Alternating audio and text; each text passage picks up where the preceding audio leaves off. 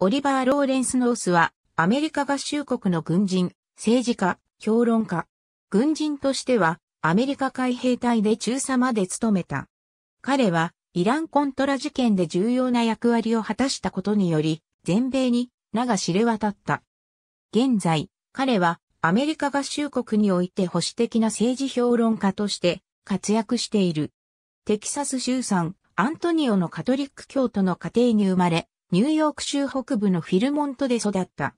ニューヨーク州立大学で学び、その後、アナポリスの海軍兵学校へ入学し、1968年卒業した。22年間海兵隊で勤務した。この間ベトナム戦争に従軍し、国会の卓越した功績に対し、シルバースター、ブロンズスターメダルを授与され、負傷に対し2つのパープルハート賞を授与されている。1981年、大統領特別補佐官に任命され、1983年から1986年までテロ対策調整官として活躍の機会を与えられた。その間、1983年のグレナダ侵攻の作戦計画に参加し、イタリアの旅客船、アキレラウロ号ハイジャック事件の犯人逮捕作戦で成功を収めた。彼はまた1986年、ベルリンのナイトクラブ爆破事件の報復として、トリポリとベンガジのリビア基地空爆の作戦計画策定に参加した。ノースは連邦議会においてイランコントラ事件への関与によって著名になった。同事件において彼はイランへ武器ブローカーを通しての武器密輸計画の責任者を務め、そこで得られた資金でニカラグアの反政府組織コントラへ資金援助の道筋をつけたのである。彼はコントラを援助する目的に用いられた秘密のネットワークの設置に関与していた。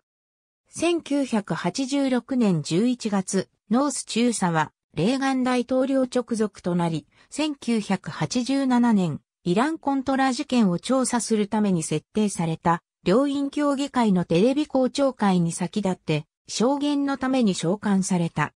聴聞の間、彼は自分が議会に対し協議の証言をしたことを認め、このことによって後に告訴されることになった。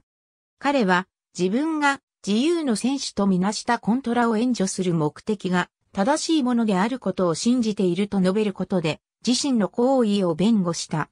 そして非合法のイランコントラ計画を素晴らしいアイデアであると自分は考えていると述べた。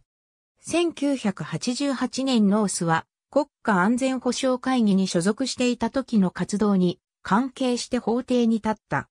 彼は16の重罪で告訴され、1986年5月4日の判決で、収賄、聴聞議会の妨害の支援及び、法助、書類の破棄の3つの罪状で有罪を宣告された。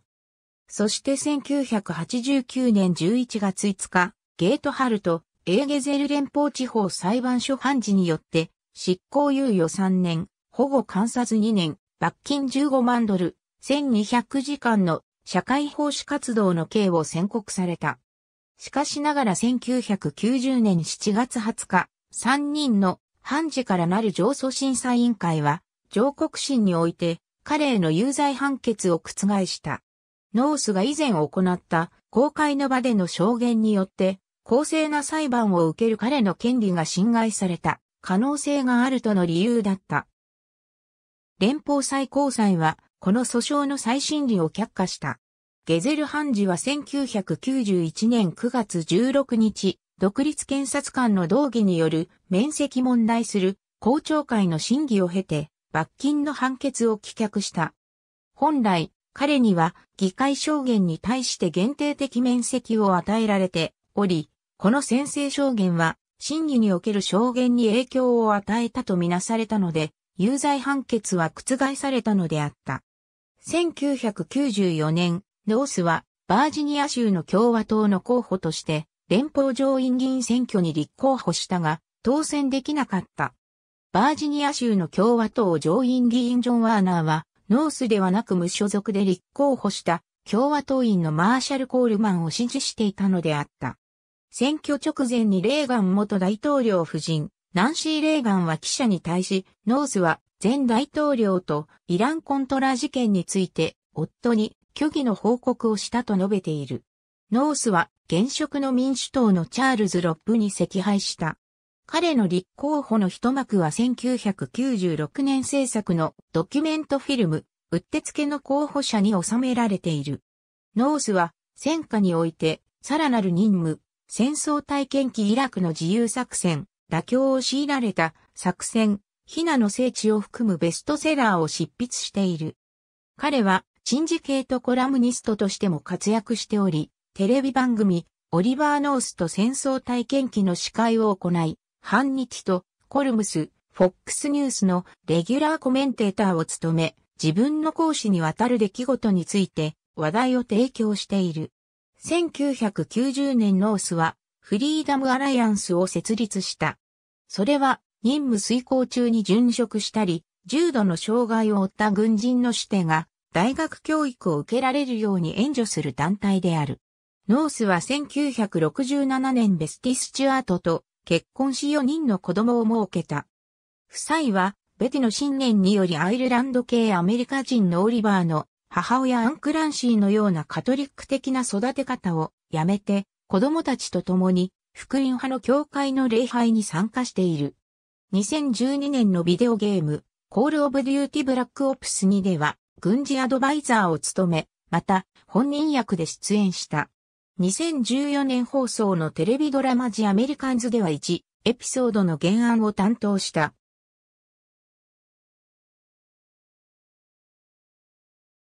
ノースは大きな物議を醸した人物である。彼の活動を熱烈に擁護する支持者がいる一方、反対者たちは彼の法破りを非難している。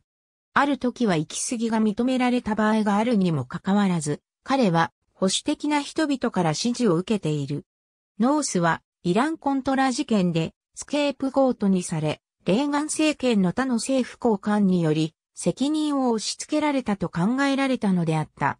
共産主義の拡大を阻止しようとする中佐の目的は、正しく、ただ方法が法を逸脱したものであったと考える、向きもある。彼の保守的な政治的大義を評価する世論もある。ノースに対する評価は、民主主義と国内法において、一人の人間がいかに自分の目標が正しいと信じても、法の範囲を超えて行動することはできないというところに落ち着いている。だが、その一方、彼の行為に対しては現実には民主主義的に選ばれた政府をぶち壊し、ニカラグアのテロを招き、イランを援助することで、アメリカの軍事に対する国民の敵意を煽るもので、あるとする評価もある。ありがとうございます。